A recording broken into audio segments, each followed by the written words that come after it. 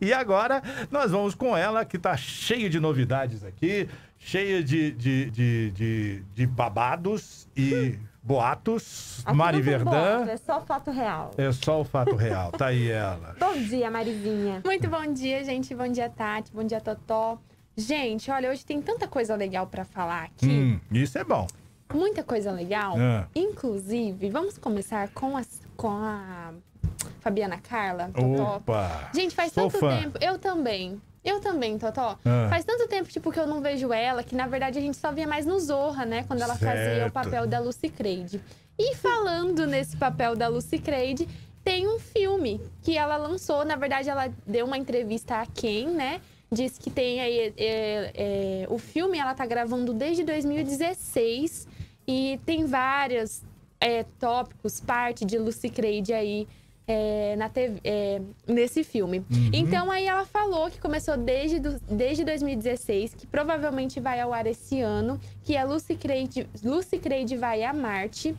E assim, é uma saudade, né? Eu lembro quando ela fazia o papel de faxineira na Zorra Total. E ela é muito engraçada, principalmente pelo sotaque, que eu amo esse sotaque, vocês sabem, né? Ela, ela realmente é nordestina? Sim, Sim, ela é ela nordestina. exato, Não é um personagem, um que- sotaque que ela cria. Não, ela Não. valoriza, É, né? ela dá uma da- empenhada da- ali.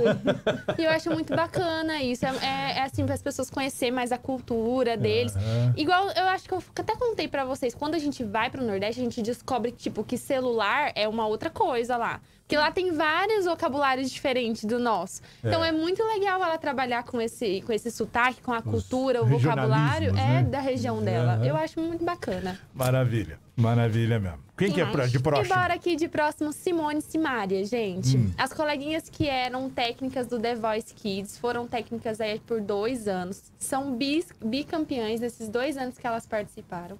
Só que esse ano não vai dar, né? Hum. Não vão participar agora no ano de 2021. Primeiro, por causa da- do nascimento da Zaya, filha de Simone. Né? Tem aí os cuidados da maternidade, ainda mais com essa pandemia. Simone não está morando no Brasil, está morando nos Estados Unidos. Poxa. Então, assim, não, não deu para conciliar esse ano The Voice, mas elas pretendem voltar.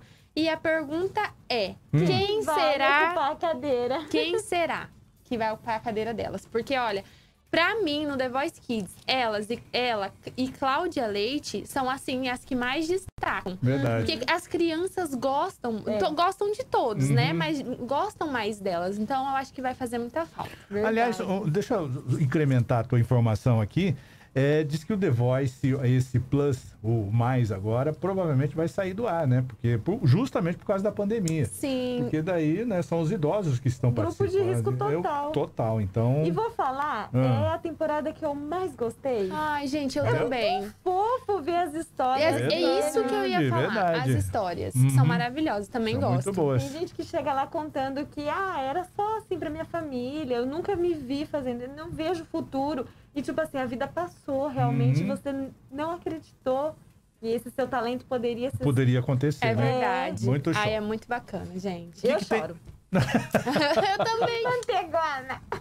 eu também. O que, que tem de próximo? E aí, por último dos babados e boatos, é, Hum. eu trouxe Bruna Marquezine e Enzo Celulari. Gente, em boatos. Esse já... Enzo não é filho de um famoso aí? Sim, um do casal de um famoso. casal Ah. famoso, né? Que é Cláudia Raia e o Edson Celulari. Ah, tá. Sim.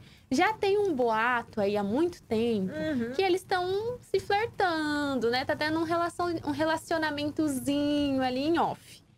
Mas, assim, nada concreto, nada exposto na rede social, nada. Ah. Ainda. Só que há um, acho que uma foto que o Enzo comentou da Bruna há um tempo atrás, ela veio responder agora esse comentário dele com um simples assim, um simples comentário assim: "Te amo, ponto, muito". Então, assim, Eita! Quem chipa já tá lá, né? Ai, meu Deus. Ele sabe, onde tem uma brasinha, tem fogo, né? Tem Exato. até faz uma Se fumacinha eu não ali. me né? engano, nas suas férias eu trouxe a informação de que acho que eles tinham é, sido flagrados viajando juntos. Opa! Sim, Se sim. não me engano, Noronha. Ó, no- essa viagem já flagra- flagraram eles no shopping, já fazendo compras e tudo mais. Então, assim, só falta, né, Dividindo Colocar- milkshake lá no Maravilha. shopping. colocar o on aí, né, no relacionamento. Por en- porque por enquanto ainda está off. E por causa dele, esse nome foi uma explosão aí nos últimos anos de filhos que ganharam o nome Enzo. Ah, é verdade, Nossa, geração. é ele? Aham, aí ele é, é a culpa é dele. Vamos conversar com Cláudia e Edson. É, Porque quando os nossos filhos estiverem na escola, Enzo, Aham. Enzo. Né? Isso. Aí depois é as Valentina, Valentina. Valentina. É, Valentina, Na exato. chamada. sempre tem um, um, um, um tempo, assim, que pega os nomes, né? Isso. Eu acho que a gente tá no tempo de Theo, porque eu tô vendo muito Theo. E eu amo Theo. Aham. Aham. Theo, Theo. Ah, e é Theo. E Gael também. Tá, Verdade, Gael tá super em tá alta. no auge, Gael. Maravilha. Vamos lá, de próximo. De próximo BBB, né, gente? Hum. Hoje temos módulo novo no programa. Eu nem sei quem saiu que não saiu ontem. Eu, eu fico esperando você me contar. Pois é. Eu li hoje pela manhã, mas não vou falar, vou deixar você falar. Quem saiu e não saiu, né? Realmente É. isso. Ah. Saiu, mas não saiu. Ah. Carla Dias foi para o quarto secreto com 62,40% dos votos. Poxa. É o que eu disse pra vocês, Ah. né? Mas também um paredão sonso desse? Não, muito sonso, né? Nossa, que água com açúcar. Eu vou falar pra vocês real, eu sempre voto. Ah, Dessa vez eu não votei, não. Eu sempre voto. Eu sempre voto. Tipo assim, a Carol com K quase deu ler na minha mão, né? O, o Aham. Nego Di também, né? Mas assim, esse eu não votei, não. Pra mim era o verdadeiro significado de tanto faz. É. Mas ah. a Carlinha vai pôr fogo no parquinho. Foi a Vai, primeira né? coisa que ela falou quando ela, ela entrou Cara, no quarto. Tem um boato de que o pessoal, tem algumas pessoas sabendo de, de que é um paredão falso lá dentro, tipo assim, ah, desconfia. Então, Ah. olha só. A Camila, que é amiga da, da Carla Dias, disse que sonhou que alguém ficava vigiando eles na casa. Hum, O óbvio é o Brasil vigia, o Thiago vigia. Então, Certo. tipo assim, esse sonho dela, ela entendeu que não é o óbvio. Claro que todo mundo tá vigiando, né? aham. Principalmente eu. Mas ela sonhou. Então, assim, automaticamente eles sonham ou eles escutam alguma coisa, eles acham que tem alguém. Por exemplo, se é uma pessoa que você gosta muito, nós três lá somos um grupo. Você sai, eu e a Tati não acredita. A gente ouve um barulho, a gente pensa. "Ah, Eu acho que é paredão falso. Totó Nossa, tá lá em cima. paranoia. Exatamente Paranoia isso. mesmo, é. Vê isso. Meu Deus. Por quê? Porque Começa a ver bicho. É. Barulho de gente andando. Mas isso é porque nos a roupa outros. cai do varal. Nossa, meu Deus, a roupa brota lá. Mas é porque antes, nos outros BBBs, o quarto secreto era em cima. Então, se Ah. gritasse, se fizesse muito barulho, eles escutavam assim. Ah. Sabe quando você vai fazer aquele teste de audição que é Cê aquele bem bem, lá no levinho, fundo? aham. Eles escutavam, mas agora Olha o Thiago só. diz que é em outra dimensão. Ah, tá. Então, eles não escutam nada. O que, que é isso aqui? Isso daí eu É o trouxe. resumo da ópera. É, o resumo só pra lembrar vocês que são quatro, eram quatro emparedados. Primeiro lugar é a Carla, além dela ganhar o quarto, o pay-per-view e ela não ter saído do programa, ela ganha o veto do anjo. E eu falei aqui do veto do anjo, mas eu descobri uma coisa que eu também não sabia. Hum. Esse veto do anjo vale tanto para o monstro que eles forem escolher. O, mon- o- o anjo ganhou lá, ele tem direito a escolher do- dois monstros. Vamos supor que eles escolhem duas pessoas e a Carla fala: não, não vai pro, pro monstro. Ah. Ela tá. já usa esse veto. Ou na imunidade. Que Certo. é na- no domingo ele escolhe, ó, vou imunizar o Totó hoje pra ele não sair e tal. Aí ela fala, não, não vai imunizar. Então ela escolhe um desses Nossa, dois Fogo no parquinho. pra mesmo. vetar. Eita. Exatamente. Em segundo lugar ficou o João na votação. Ele ficou com 28,7%. Então, ele e o Caio, que também ficou em terceiro lugar, mas com 8,25%, eles jogam a prova do líder. Aí você fala, ah, Mari, mas ninguém, quase todo mundo não joga a prova do líder? Não, às vezes é um sorteio, às vezes tem veto. Então, ah, né, tá todo mundo então tá garantido. tá garantido nessa Aham. Prova. E o Vantagem. quarto lugar, que é o Arthur, que ficou com 1,28% dos votos. A gente sabe que a família dele equivale a 1,8 1,28%, que só foi a família que votou. É, enfim, ele fica com voto com peso. Peso é 2 daí, Peso né? 2. E- Votou em uma pessoa, vale dois votos naquela pessoa. Ah, tá. Eita. É. Eita. Todo mundo tá na vantagem, em resumo. Aham. Pois Ô, é. Mari, mas onde que essa galera tá? Onde a Carla tá? Só ela tá lá? Ou tá todo mundo Só- junto? Então, tá todo mundo junto na casa, que eles acham que Carla saiu. Carla, pra Ah, eles, não pra eles tá a mais Carla já não jogo. tá mais Não, ali. Saiu, foi eliminada. Carla está num quarto separado com uma TV mega hiper power gigante Aham. assistindo Que a gente queria pay-per-view. ter em casa, né? Ah, oi? Não Que a entendi. gente- Daquelas que a gente queria ter em casa. Ah, daquelas, verdade. Mas Verdade. esses outros três que voltaram, né, que supostamente não foram eliminados, eles sabem dessas vantagens todas? Não, o Thiago Ah, ainda não tá. contou. anunciou. ele vai anunciar provavelmente amanhã quando... na prova. É, ou amanhã. É, amanhã ele tem que anunciar, né? Aham, Por- tem que eles vão participar, ali, pelo, né? menos, pelo menos pro segundo e o terceiro lugar, que é o João e o Caio. Ele vai anunciar que vai participar da prova. E a Carla volta domingo.